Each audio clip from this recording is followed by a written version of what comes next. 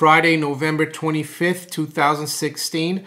Maneco 64, home of alternative economics and contrarian views. It's a little later than usual today. It's uh, just before 9 p.m. London. Uh, and uh, I just want to talk today about uh, Martin Armstrong, the uh, economist. And uh, he was in jail to 2011. I think he was in jail for quite a few years. But around 2007, 2008, he started uh, writing stuff uh, from jail, and people posted it on the internet. And uh, I had a colleague at work. At the time, I worked uh, for MF Global, which prior to that was Man Financial. And uh, my friend and I, uh, who was a broker too, we, we enjoyed reading his stuff on the internet. And we published this. He published this on October 10th, 2008, and it's called It's Just Time. And basically, he it's quite a long report. It's over, let's see, it's about 70 pages. And basically, uh, he goes on about uh, cycles and how uh, it's very difficult to stop cycles and that, you know, there's always people trying to manipulate, you know, the markets or the economy, you know, be it uh, the, the club, as he calls them, which are big, you know, uh, market participants or the billionaires who actually sometimes put a trade together, mostly in currencies and commodities, because Martin Armstrong argues that the CFTC, uh, they're incompetent. You know, the people, apparently the, the lawyers that don't manage to work for the SEC or the U.S. Treasury uh, or the other regulate, you know, bigger regulators, uh, they go and work for the CFTC.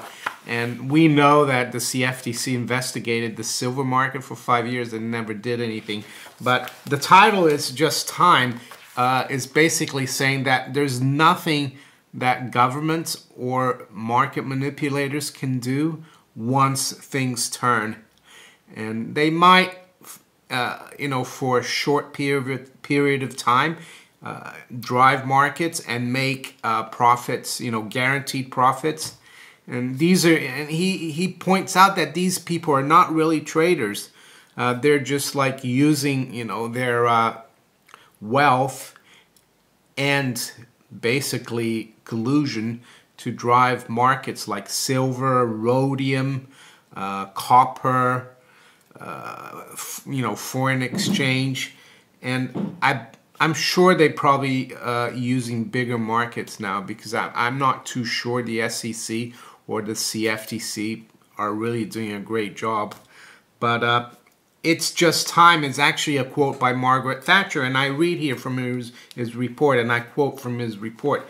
And he says, as Margaret Thatcher once said, it's just time. She instinct, instinctively knew that cycles is, exist because people just get tired of the same old thing. We have an absolute right to do good, honest government.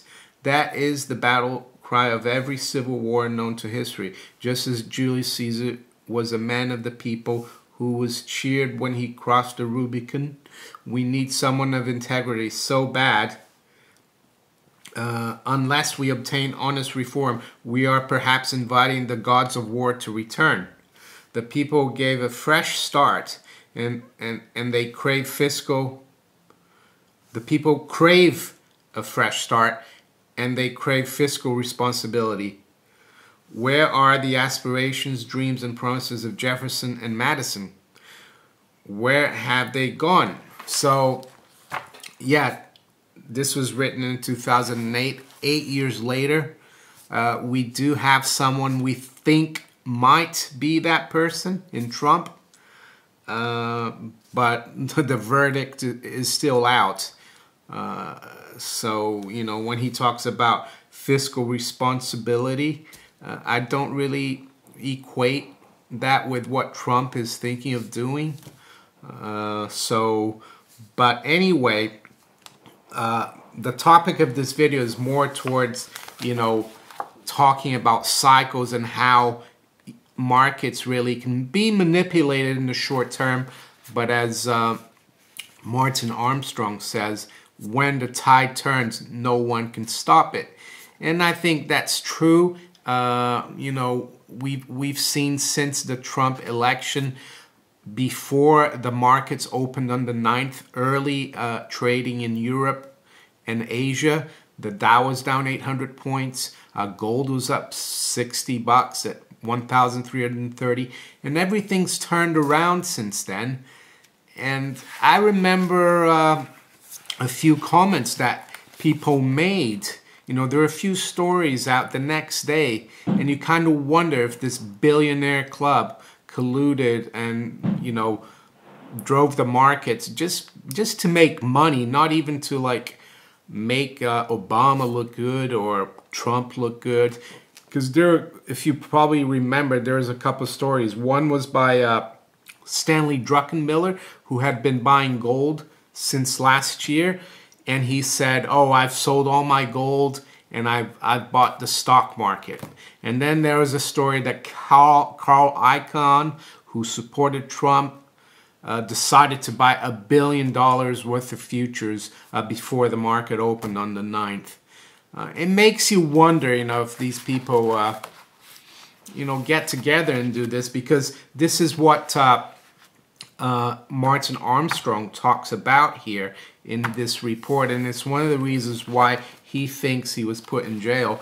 and and in this report, he, he says he was invited uh, to join this club. You know, basically, it's a club of billionaires who put on these trades and they get together. They got so much firepower that uh, they're guaranteed to make money, and that I guess that's why they become even richer and richer. So there's a story here about sil silver manipulation in the late 90s, and I quote here uh, from um, Martin Armstrong. I'm going to read here. One of the brokers was Phillips Brothers in Connecticut. I believe they had an analyst on the payroll, so to speak, who had developed contacts in the press. I believe the stupid decision was made to try to get the press after me to stop the forecasts because he uh, basically Martin Armstrong came out and said, you know, the club's going to drive silver from $4 to $7. That was back in 1997. And then he goes on to say, a journalist from the Wall Street Journal called, accusing me of being short silver and trying to talk the market down. He was very hostile. We argued, and I but bluntly told him if I was short, why would I be saying it would rise from from mid $4 range to $7. The conversation turned almost into a screaming match. He insisted I tell him who was behind the manipulation. I told him it didn't matter because he would never print the name. We yelled back and forth, and finally I just said, fine. It, it was Warren Buffett. He laughed, saying Buffett did not trade commodities. I just com commented, That's how much you know, and slammed the phone down. And then a bit further down in this uh, part of this report, uh, he says, and I quote again, To my shock, my telephone rang. It was a broker who was not part of the club. To let me know, the Bank of England called a meeting in the morning of all silver brokers. It was truly, I was truly shocked. Obviously, the press didn't want to believe me, but it seems the governments did listen. This was only a couple of hours after the call from the CFTC. Then came the real shockwave.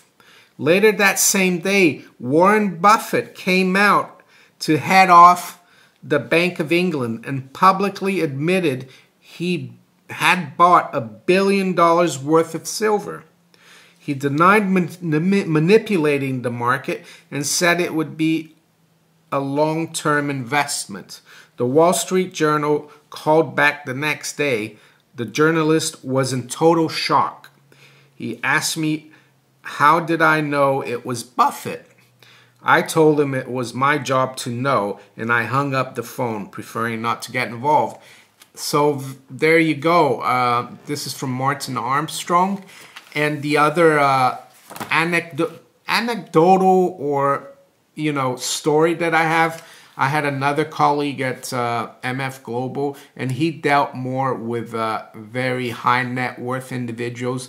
I dealt more for institutions, uh, but he told me once I, that he had a because we used to talk about the manipulation of markets, and he said he had a very big, uh, you know, client from North America. I won't say the country, and he was kind of uh, a billionaire and part of the club. The, my friend said the same thing, and he said that uh, he would get phone calls from the other club members and say, "Oh, we're gonna go along the euro against the dollar," and lo and behold, the euro would move. You know, three big figures, and these people would make you know billions of dollars. So yeah, it exists, and I think that's what's been happening since the Trump um, victory on November 8th. It, it, it's kind of a gray, uh, how can I say, gray area is the interregnum. You know, it's, uh, we've got a president that's a lame duck and one that hasn't really taken power yet. So there's like, you know, a free for all kind, so to speak. So I think that's what's what's happened. Uh, the club is moving this market. You know, they They've moved the stock market and they've moved, you know, precious metals down. And uh, it makes sense because the other markets like the FTSE and the, and the DAX, they, they're still like way below their all-time highs. And, but in the end, I think when it's time, uh, the stock market will turn down, the U.S. stock market, and the precious metals will turn up because all the fundamentals are there, and these guys, you know, the club, whoever they are, uh, they they can't stop the tide uh, turning. So that's what I wanted to talk about this evening. I've got my end the Fed shirt as well. I hope most of you like that. Billy is not here tonight because uh, he's in in the front of the house uh, with my wife with the music on because he's scared tonight because people are letting off fireworks. So it's good to have him with the music on so he doesn't listen to it.